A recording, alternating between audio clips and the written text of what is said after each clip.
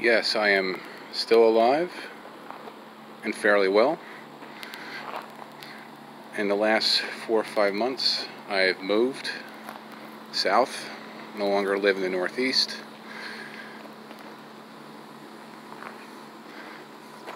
I brought my Bronco with me. I still have my 35 Ford. I never made a video about these. At some point I will. Still have my pickup. Right now I'm renting.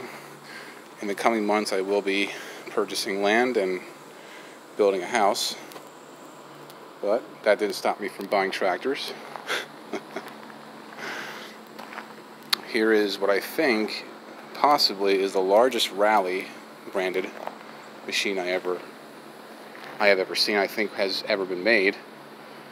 I'm gonna make a proper video about this someday. When I actually have the house. Well, I have a bunch of parts right here. I bought it as you see it. Blown engine. But it's not, some of you already realize what it is. It's not actually a GT. It's dressed like a GT, but it isn't. I took the rear tires and wheels off. I'm going to be putting inner tubes in it. I promised myself I will only be putting tubes in this so I can roll it around.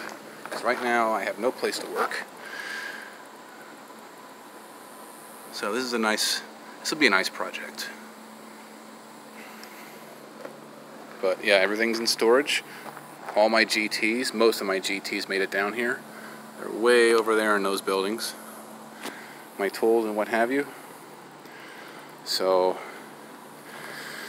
for the few few of you who still care and have stuck with me, uh, still doing my thing and living happily in the South, where the weather is so much better.